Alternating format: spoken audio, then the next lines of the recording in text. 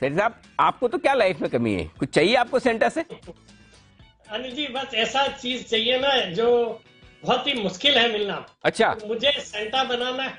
हाँ अनिल जी बोलिए। नहीं नहीं हाँ बताइए बताइए क्या क्या मुश्किल है?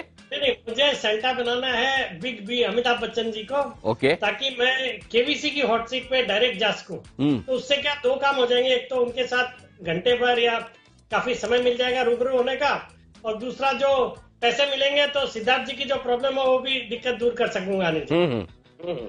सेठी साहब मैं तो आपको बड़ी सोच वाला आदमी समझता था। मुझे लगा सेठी साहब कभी मांगेंगे तो कुछ दिल खोल के बड़ा मांगेंगे। एक मिनट पहले सिद्धार्थ जी आपको कुछ सलाह देना चाहते हैं एक बार उनके पास चलता हूँ। जी सिद्धार्थ जी कुछ कहना चाहते हैं अनिल जी जवाब भी मिल जाएँगे क्या? सिटी साहब को सही जवाब।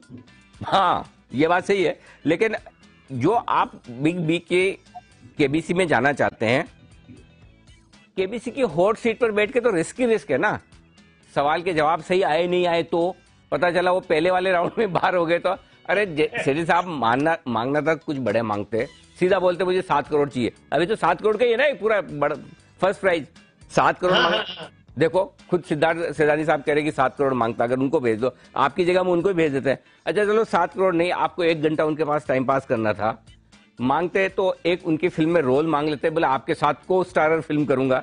उम्र में भी आप लगभग बराबर ही हैं तो कर सकते हैं ऐसे भाई भाई वाला रोल।